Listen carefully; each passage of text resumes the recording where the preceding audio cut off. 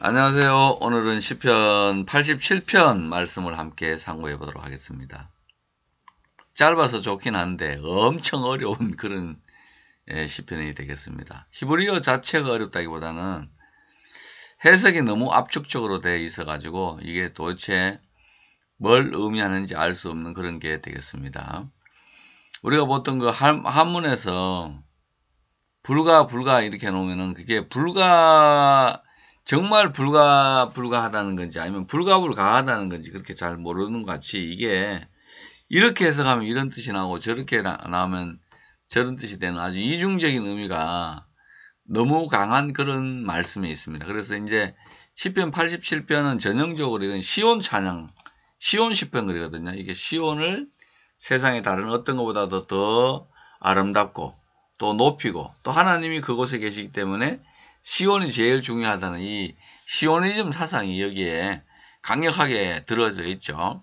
들어져 있는데 이 이제 87편에서 이제 뭐 블레셋, 라합, 바벨론, 구스, 두로 이런 나라들이 등장하는데 하나님이 그 그것들을 안다 이렇게 말씀을 하실 때 예, 그, 그 나라의 지명으로 이렇게 아시는 건지 아니면은 그 중에서 하나님을 믿는 사람들을 안다고 하시는 건지 이거 가지고 지금 뭐 학자들 간에 또 주석가들의 간에 경론이 발생하고 있고 여기에 대한 논의는 학자의 수만큼 다양하다 할 정도로 어떻게 딱 찍어서 말할 수는 없습니다만은 어 약간 은혜롭게 이렇게 해석을 한다면은 하나님께서 시온의 문들을 사랑하시고 또 시온은 매우 영광스럽고 라합과 바벨론, 두로, 구소릇의 백성들이 시온 백성이 되는 거, 하나님 백성 되는 거를 하나님이 다 알고 계시고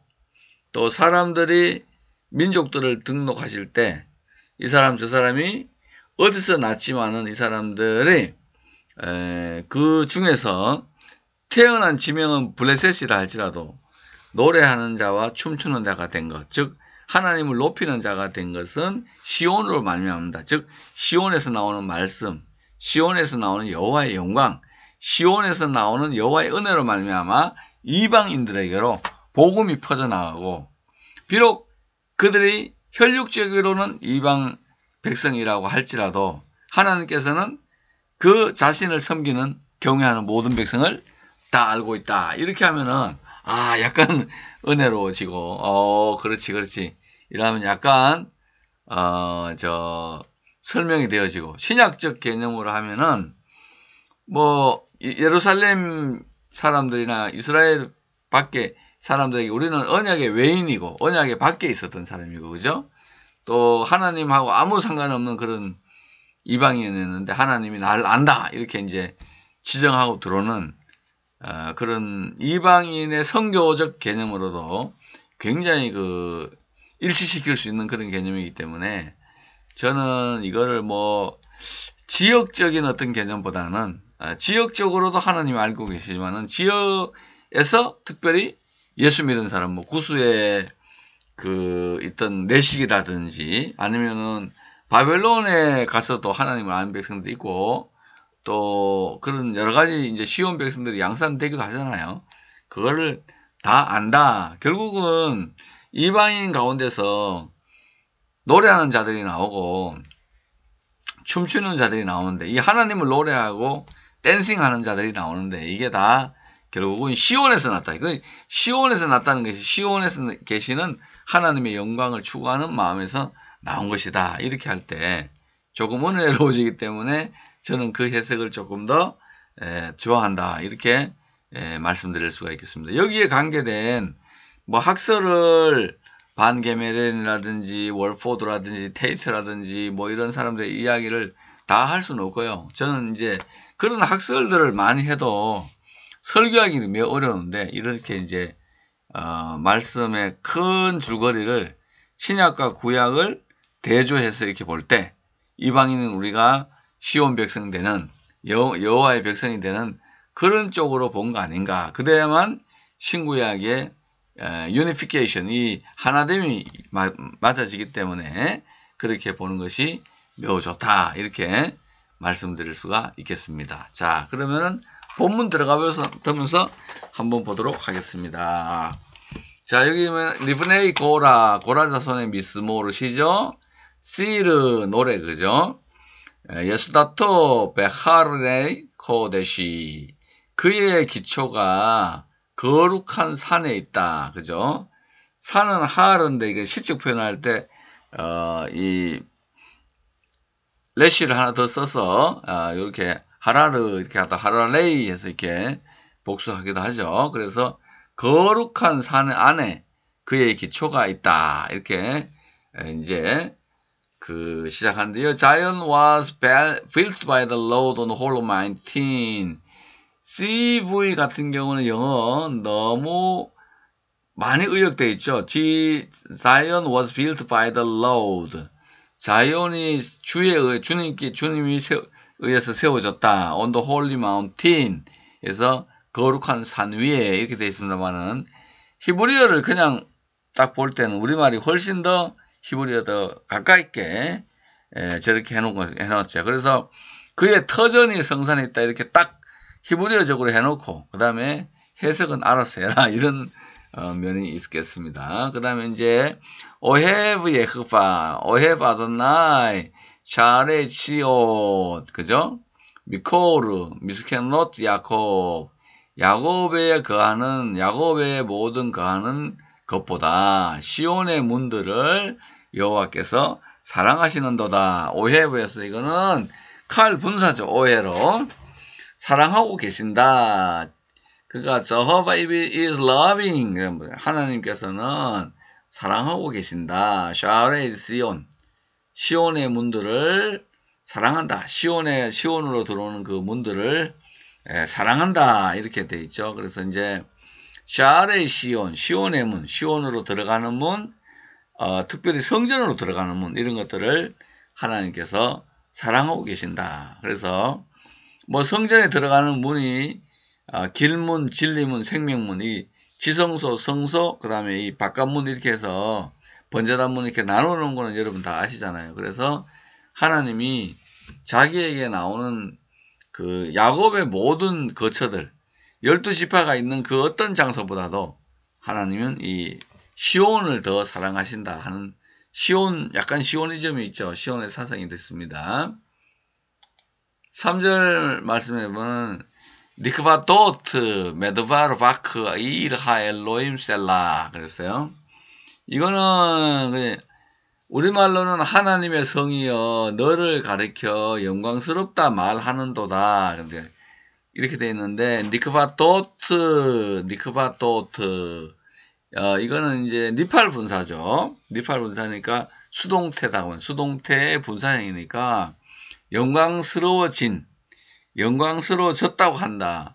메드바르 말들에 의해서 이것도 이제 보면은 푸활이잖아요. 그래서 사람들이 하는 말에 의하면 너 영광스러워졌다고 하더라. 이 정도 뜻이 되겠습니다.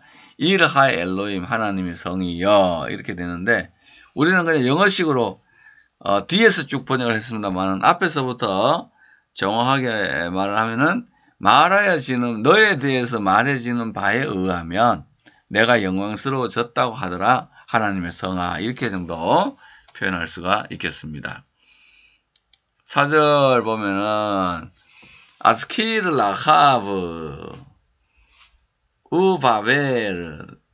레 요다이 요다이 요까지죠. 그러면은 내가 말하리라 라합과 바벨론이 나를 알고 있는 나를 알고자 하는 하는 것 중에 있다고 내가 말하겠다. 히네 보라 펠레셰트베 소르 두로 블레셋과 두로 그리고 임쿠시 구스도 제 구스도 제 율라드 샴 거기서 났다 하리로다. 여기에 이제 화자가 하나님인지 아니면 이 고라 자손인지 잘 모르겠지만 이 시편으로 봐서는요 라합 바벨 라합 바벨론 이런 것들이 이제 나오는데 그 요다이라고 되어 있는 이 부분을 보면은 여기 이제 난해줄을 한번 보실까요? 난해줄을 보시면은 어떤 사람이 어떤 곳에서 태어났다는 사실은 그 사람에게 시민권을 영원히 부여한다. 하나님이 몸소 도성 시온의 창건자이시므로 하나님에 대한 믿음을 고백하는 사람들이에게는 하나님의 도성에 시민권이 있다. 이렇게 아주 독일 성서 공예에서 잘 번역을 한 것 같습니다. 이게 제가 봐도 이게 그 맞는 것 같아요. 그 비록 육신이 태어난 것은 라합에서 태어나고 그 다음에 이제 어, 바벨론에서 태어났다고 할지라도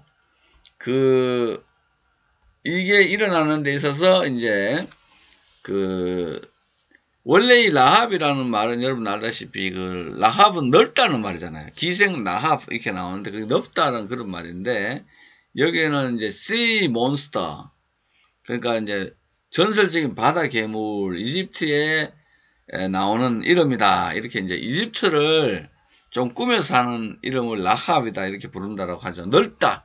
뭐 땅이 광활하다는 의미도 있고 에, 기생 라합 같은 경우는 저 이름을 썼죠. 그러니까 하나님이 그런 바벨론 사람 중에 나를 아는 자들이 자 중에 있다. 나를 아는 자 중에 있다. 그가 에, 레 요도아이 나에 대한 지식, 나의 지식을 에, 나에 대한 지식을 가진 자가 있다 하고 하나님이 말하리라 했습니다. 5절은 원래 지온 시온에 대하여 야메르 말하여지기를 이쉬바의 이쉬 이 사람과 이 사람이 율라드바 거기서 났다고 할 것이다. 베후 예콘 네하 엘yon 하나님이 시온을 세우셨다라고 한다라고 말하죠. 여기에 있는 이십의 이시 사람 이 사람 저 사람 이렇게 쓸 때 쓰는데 이게 지금 볼 때는 이 사람 저 사람이 예안메르 말해진다 그죠 예안메르 예안메르 라치온 시온에 대해서 말하여지기를 이 사람 저 사람이 율라드바 거기에서 태어나졌다라고 한다 즉 영적으로 하나님의 백성이 되었다 하는 그런 의미가 되겠습니다. 그 당시에는 이 말이 굉장히 어려운 말이겠죠. 그 당시 뭐 그런 이방 나라 사람들이 하나님 백성 되었다 하는 것이 조금 아, 그렇기도 한데 그래도 하나님이 에, 시온을 세워놓고 그 영광스러우니까 이 사람 저 사람 뭐 구수 왕 그 구수 내시 그 다음에 스바의 여왕 이런 사람들이 아 나도 예루살렘 백성이다 이렇게 에, 나의 영적인 고향은 내가 영적으로 태어난 곳은 예루살렘이다. 이렇게 할 때 율라드 됐다. 그죠? 율라드 바. 내가 거기에서 태어났다라고 이야기할 거다. 여기 보면은 율라드는 율라드잖아. 율라드 바 할 때 이거 여성이잖아. 그죠? 여성 전치사 배 전치사인데 여성 단수니까 요게 아마 제가 볼 때는 시온을 꾸미는 에, 걸로 봐야 되겠습니다. 그렇게 되면은 율라드 바에서 내가 거기에서 태어났다라고 이야기할 때 영적인 출생이라고도 볼 수가 있겠습니다. 6절 아도나 이스포르 비크토브 아민 민족들의 이름을 쓰실 때 이름을 기록하여 세실 때 즉 이거를 등록하는 걸제 율라두샴 셀라 이 사람이 거기서 났다 라고 할 것이다. 그죠? 그 다음에 7절 말씀은 베샤림, 샤림, 케, 홀림, 콜, 마, 마얀나이 바크. 그러니까, 샤림은 이게 이제 그 노래하는 자죠. 케, 홀림 해서 이거는 이제 찬양하는 자, 뛰어노는 자인데 이게 찬양하는 자들이 또 뛰어놀면서, 에, 뛰어놀면서 뭐 몸을 댄스 추는, 춤추는 자들이 예, 그렇게 봤다, 봤 다는 거죠. 그래서 그 이게 이제 어 후래 후를 이제 그 기본으로 하는 동사를 봤을 때는 형성되었다. 또 우리말에는 노래하는 자와 뛰어노는 자들이 말하기를 이렇게 되어 있는데 이거보다는 그 뛰어놀면서 노래하는 자들, 즉 춤추면서 노래하는 자들이 하는 말이 뭐죠? 콜 마야 나이 바커 나의 모든 근원이 너에게 있다 하리로다 이 부분은 없으니까 작은 글씨가 되어 있고 말하기를 또 없으니까 작은 글씨로 되어 있는데요. 어쨌든 이방 어디에 있든지 간에 여기에는 그 말하는 그 샤림 할 수 있는 자들, 노래하는 자들과 그리고 후울 할수 있는 자들, 몸을 막 흔들고 예, 춤추는 자들이 어, 말하기를 나의 모든 근원이 거기에 있다. 이렇게 했는데 이 후울이 고난 당하다. 기본적인 뜻은 고통을 당하다. 너무 아파서 펄쩍펄쩍 뛰는 것도 있잖아요. 그죠? 그런 것도 있고, 그 다음에 애를 낳을 때 막 몸을 비트는 것도 있고 한데, 여러 가지 이제 그 형성으로 이게 쓰이는데, 여기 서는 어, 볼 때, 그, 영어를 한번 볼까요? All who sing or dance will say, they dancing as well as they dance. They dance and sing.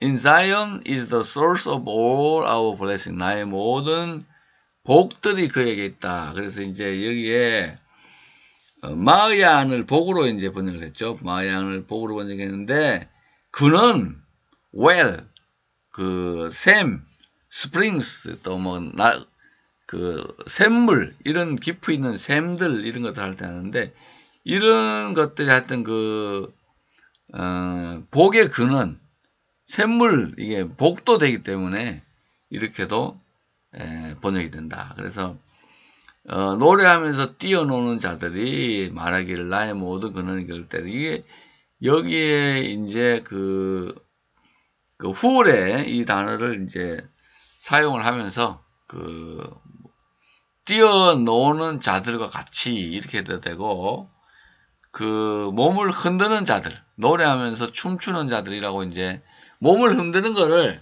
춤추는 자로 이제 번역을 했습니다만 굉장히 어려운 부분입니다. 그래서 내가 거기서 났다고 하리로다 이렇게 되어 있는데 이 전체적인 내용을 볼 때는 하나님이 시온에서 그 기지를 세우셨기 때문에 많은 사람들이 시온을 보고 영광스럽다 그러기도 하고 또 라하파 바벨론 블레셋 두로 구수 사람들도 나도 저기 백성이다 그러기도 하고 어, 내가 거기서 태어났다라고 여러 사람이 이야기하고 하나님도 민족들을 세실 때 자기를 에, 경외하고 성기기로 작정하는 사람들은 여기서 났다라고 이야기할 거다.